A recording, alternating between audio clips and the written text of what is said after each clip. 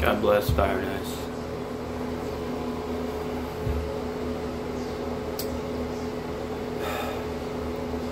To me now, if you look at it, and you see into the spirit and look at people's spirits, you see people more. If you look at them, see more as what they're truly representing through personality or anything else, if not standing on God. You, you view people more now as spirits. I view people more now as spirits.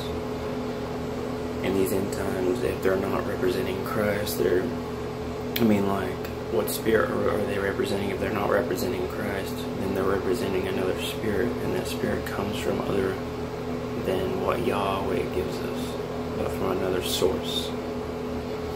So, it's not Yah's spirit, it's not Yahweh's spirit or God's spirit. It's coming from somewhere else. Kind of think of it like that, and if you see people kind of like see him like that, that if it's not Yah, Yahweh's spirits, you see them more as another spirit.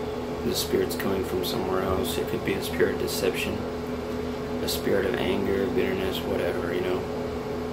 But just know it's not Yah's spirit. If it's not His spirit, it's obviously coming from a different spirit. It's a different spirit. So,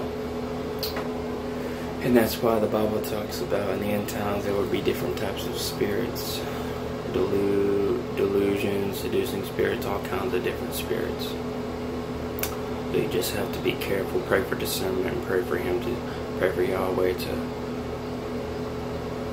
like put on the full armor of God, pretty much and all of his spirit. So God bless and fire and ice Godspeed. Out.